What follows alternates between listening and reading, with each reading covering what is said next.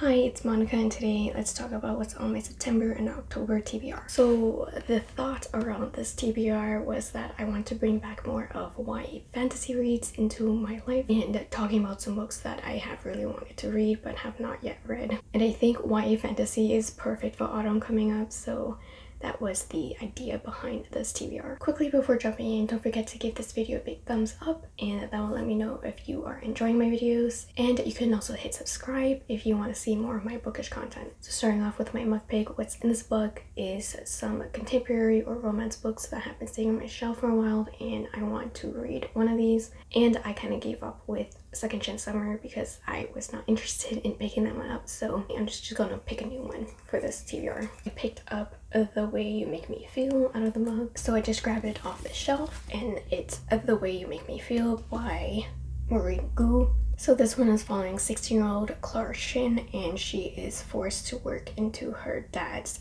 food truck and that's where she's going to be spending her summer. And she's not really happy about that but she might meet someone along the way. And just reading some of the blurbs on the back authors are saying that they really like how this one made them laugh and cry. And there's some mentions of really good food so I think that's this one I will enjoy. My first pick of this TV TBR is Belladonna by Adalyn Grace. This is a YA fantasy that is releasing August 30th and I do have an arc of this one but I still not gotten around to it so I'm putting it on this TBR. And I did mention Belladonna in my most anticipated reads video for the summer and fall months. This book is following 90-year-old Signa Farrow whose life is on a constant repeat of her losing guardians Meanwhile, she's also an orphan and she does have some wealth attached to her name. And the only relatives that Signa has are the Hawthornes who live in a gothic estate. And this family is really eccentric and Signa finds out that there are ghosts or there might have been a murder, but she also understands that her relatives might also need her help. And this is one of the key things that drew me in, into this book was that Signa makes an ally with death who is a constant shadow that follows her around. So what I'm assuming what will happen in this book is that Signa has made a deal with death and that reminds me of Addie LaRue.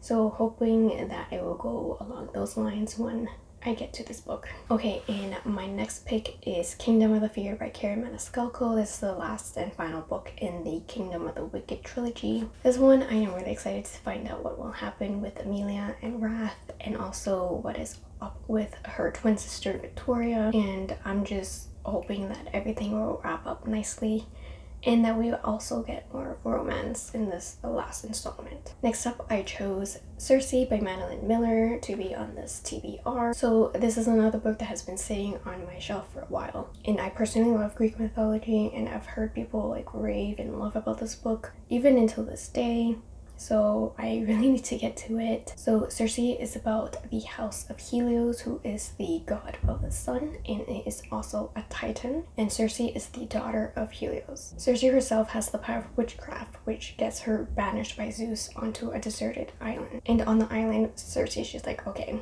whatever she just holds her craft and learns how to be powerful with her magic. Meanwhile, she's also encountering mythological figures along the way. But there is a danger that Circe faces against one of the Olympians. And Circe's struggle is between choosing if she belongs with the gods or with the mortals. I'm really interested in seeing how this book works out since I don't think I've read a Greek mythology fictional book before, so I'm looking forward to it. So next up on my list is Legendborn and Bloodmarked by Tracy Deonn. These two books are a YA fantasy duology with Bloodmarked being released in November but I do have a NetGalley arc of this so I'm really excited to get to this duology. So Legendborn takes place at a university and we are following Bree Matthews who is enrolled in a special residential program for really top high school students. But on her first night on campus she witnesses a magical flying demon attack and she figures out that there is a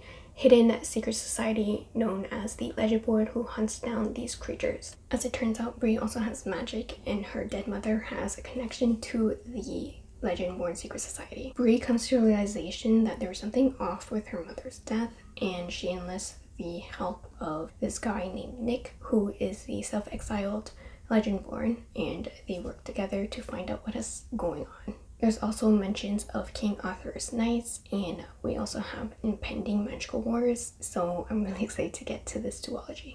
And I did want to toss in something that was not a YA fantasy, and I tossed in A Part of Your World by Abby Jimenez. So this one is an adult contemporary romance, and we do have elements of a 10-year age gap, a golden retriever love interest, and the opposites attract trope. So with Abby Jimenez, I really loved her Happy Ever After playlist book and it made me cry and I hope this one makes me cry too. In this book we are following Alexis who is an ER doctor and her love interest is a young and hot carpenter Daniel. So they come from two total opposite worlds and I'm really interested to see how they get together. This next book is also a second in a duology, and this is The Ballad of Never After by Stephanie Garber, and this is following Once Upon a Broken Heart. This duology takes place after the Caraval trilogy, and I do think it is better that you read that before you pick up this, since there are a lot of contexts that you may want to know. With Once Upon a Broken Heart, it was really strong start to the duology, and we do see a lot of